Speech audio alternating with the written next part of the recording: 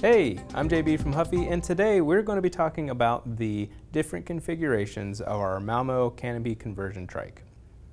So as you see it right now, it is in its full uh, built uh, function and look. Um, so it has all the accessories uh, in the open position. So you have your foot pads down here, you have your um, seat and arms in place, you have your canopy over the top and your parent steer handle in the back. So we're going to be eventually taking it from this configuration into its tricycle configuration. All right, so just in case you didn't know, it does have an adjustable top, so you can move the shade in a few different ways. And it does have the ability to remove this completely as well, and that's going to be one of the first things that we do. So to do that, I'm going to turn this around so you can see it a little bit better.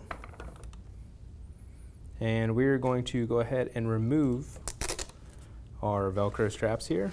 And that's going to bring out uh, these two pieces here. So these little twist knobs, we're just going to loosen up.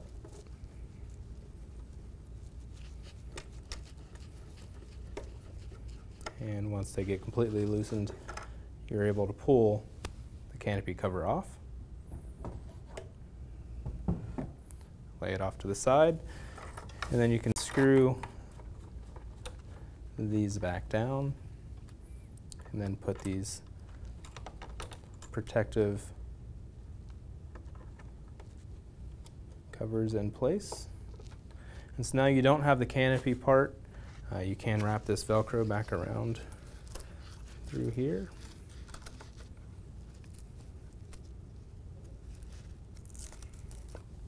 Now you have the Malmo without the canopy cover on it.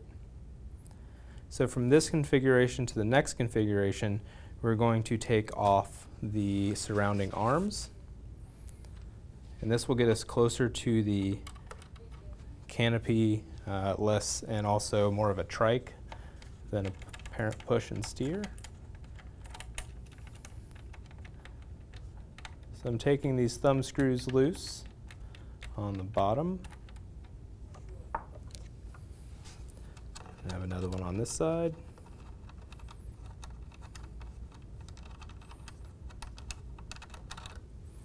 All right, and now I'm going to push the screws through.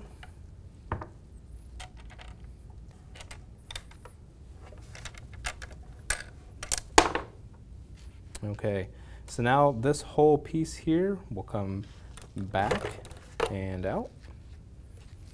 And so now our configuration looks a little bit more like a trike. Now it's up to you if you want to put these back in or leave them out with the rest of the unit. I'm going to put these in just so that they are um, accounted for.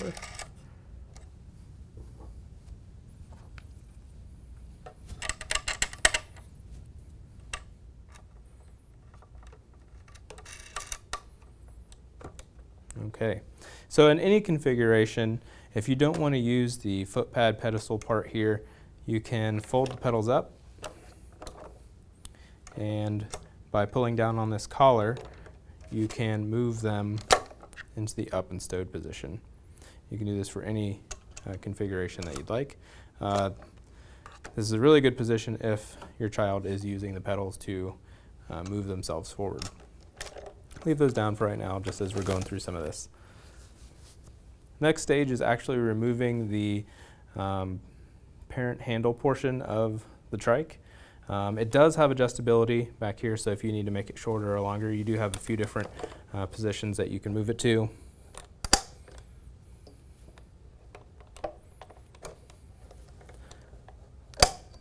So those are some options you have there. But to remove this portion of the canopy trike, you're just going to depress this button here. Depending on the model that you have, this button may also be on the back side. But it looks exactly the same and sticks out exactly the same way. With that depressed, you're going to work the handle up and remove it. Just making sure that this cap stayed in place. And now you have the trike in this form. I'm going to go ahead and push these up. And now you have the Malmo in full trike form. All right, so I hope this video helped. If you have any questions, feel free to reach out to our customer service team and they'll help you out. Other than that, get out there and have some fun.